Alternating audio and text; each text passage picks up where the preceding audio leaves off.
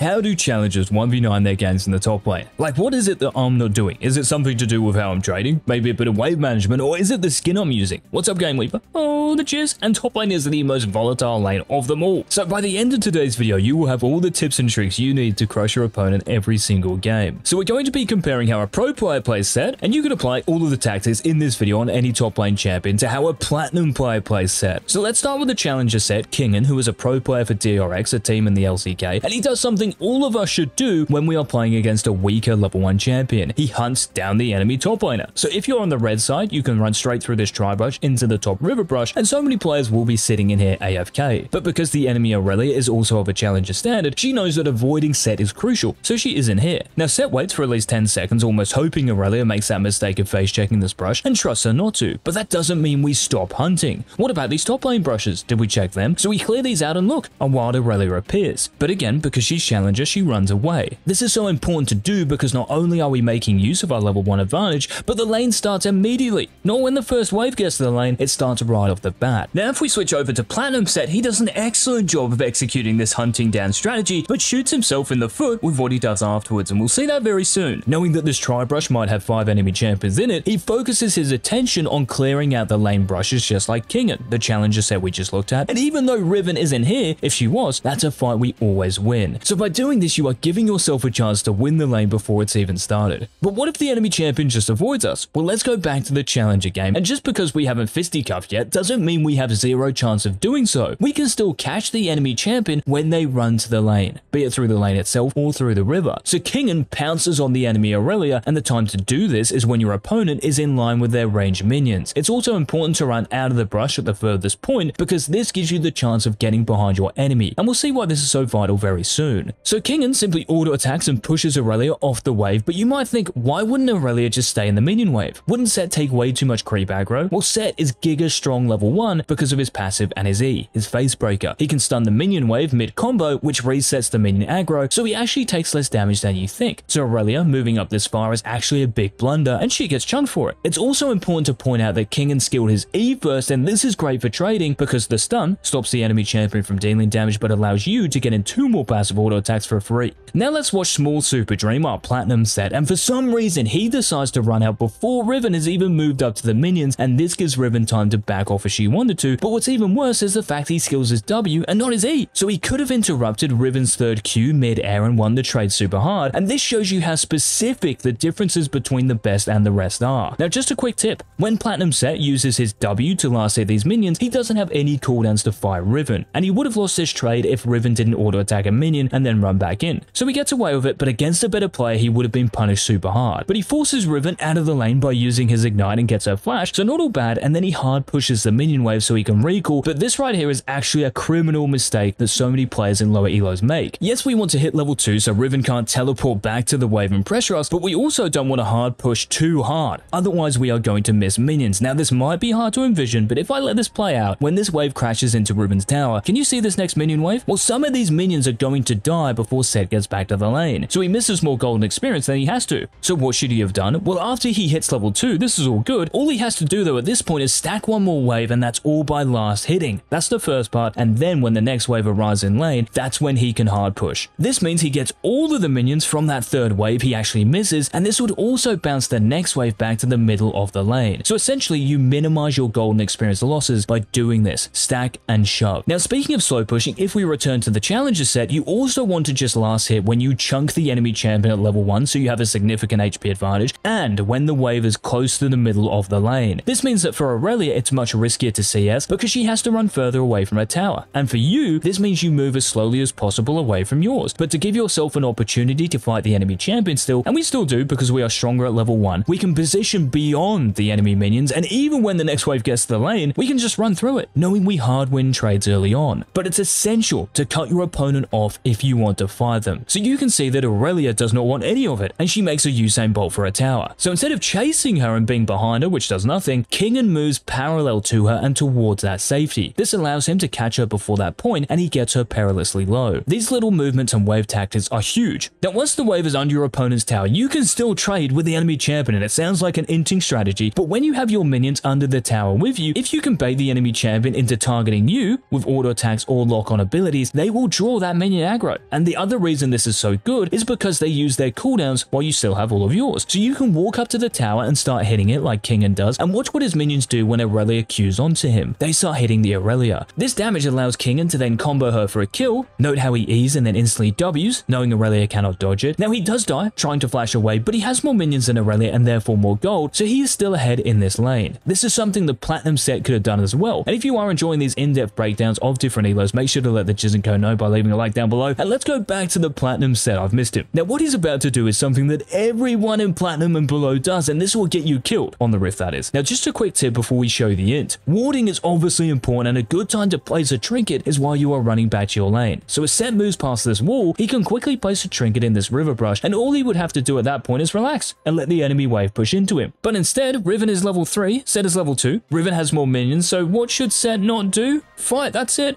And just because this Riven has two Zs in her name, he takes this fight on, and is anyone surprised when the Super Dream hits the deck? If Riven was better at weaving in auto attacks between her spells as well, he would have died in the 1v1 regardless, so respect the minion disadvantage and their level advantage. These are crucial conditions we have to consider in the top lane. Now Super Dream, our Platinum Sett, makes the same minion wave mistake when he returns to lane. You see, this wave is in a really nice spot for him. It's close to his tower, and the Riven has to venture out to contest the wave. But for some reason, Platinum Sett does not want to be safe. He starts auto attacking the minions for no reason, and relentlessly auto-attacks the next wave as well. This means that when his wave crashes into Riven's tower, it does not bounce back to the middle. So the correct play is to simply last hit, so you stack a wave, and until it gets past the equator of the rift, that's when you can hard push and go nuts. As a result of this, Sett is in a risky position, and he even misses a melee minion's worth of golden experience for going to ward. Just because your wave is pushing does not mean you have to hard push all the time. For example, let's go back to Challenger Sett, and even though this minion wave is close to Irelia's tower, the minions are even. So we never want to just hard push in situations like this because we screw ourselves over in the future. So Kingen just last hits, and by keeping the wave in this position by last hitting, he is able to trade with the weaker Irelia. Again, notice how he follows his E stun with a W so Irelia can't dodge it, and he eventually takes down his opponent. This is what can happen if you don't perma shove. But even the best of us make mistakes. What do you think Kingen should do after killing this Irelia? Now, neither of them have teleport, and the wave is pushing towards Sett. Now, if you said recall, well, you're hacking. But it's actually right. Not only is the wave going to be in a great position, for when we get back to the lane, but we are also matching the Irelia. When she runs back to lane, we run back to lane, so she doesn't have any time to CS without us being in the lane. This overstaying, as you can see, is very risky because it leaves you open to other threats, in particular the enemy jungler. But Kingen is still ahead of the Irelia and is going to show us all how to manage these minion waves when our lane is pushing, like a challenger. So is he auto-attacking on repeat like the Platinum Sett? No, he is simply last hitting. This builds a bigger wave, which then makes it harder for Irelia to trade and again, makes it hard to punish you because you are staying as close to your tower for as long as possible. And guess what? Because we are keeping the wave closer to our tower for an extended period of time, this creates space for our own jungler to gank. Even when Kingen returns to the minions here, he keeps on last hitting, and it is only until his wave is bigger than Guide's ad spend that he then hard pushes. You have to master this technique if you want to climb to the top. Get it? Because we're doing a top lane video. And at the end of this sequence, Irelia dies under her tower again. Now this time it is only possible because Aurelion Sol is here as well. But same thing as before. Kingen walks up and auto attacks the tower, Irelia draws some minion aggro after attacking Sett, and after that it's just about harmonizing your abilities, and down she goes. Now if you want even more tips and tricks on top lane and how to put your opponents in the dirt 24-7, make sure to check out the GameLeap website. Our Challenger creators upload up to 20 videos a week for our subscribers, so click on one of those links in the description and comment section. Now who remembers Platinum Sett and when he decided to perma-shove every minion wave? Well at the end of this play, he dies for it, and when he returns to the top lane, can you take a guess at what he does to these minions? If you've been paying any attention, you will know he is just going to mentally AFK and hard push yet again. And I've got one more question for you. What do you think is going to happen when he's this far behind the Riven and his wave is on her side of the lane? That's right, he dies again. But even when we have a big as lead on our opponent, we have to show a bit of respect to their teammates who might be fed themselves. So when we look at Challenger Sett return to lane after tower diving the Irelia, he starts fighting instantly because he has a level advantage and an item advantage. But the enemy Lee Sin shows on this Tribrush ward. So Kingen, instead of continuing to punch on with Irelia, respects it and backs off. By doing this, he allows his cooldowns to refresh so that even if he was to get dived by the enemy champions, he is at his strongest point to deal with it. Full HP with as many of his abilities as possible. Not dying on the Rift is as powerful as getting a kill on the Rift. And what's funny, if we go back to Platinum Sett, is that even players in lower elos know about this. Master Yi is pathing towards the top lane on the map, so Super Dream respects it. But these correct decisions are few and far between. And this goes to show you how important it is to stack and shove in the rest of these clips as well, how these tiny details can make or break your top lane experience, so make sure to take all of these tips into your games. Remember to hit that subscribe button on your way out so you don't miss tomorrow's upload. Till then, this has been the Cheers.